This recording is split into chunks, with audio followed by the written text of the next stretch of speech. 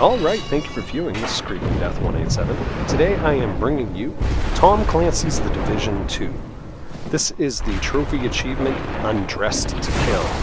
You get this by destroying every piece of armor on a tank and then eliminate the tank. You do this just by shooting his arms, his legs, his chest, and his head, and it will take the armor away, and then you can kill him.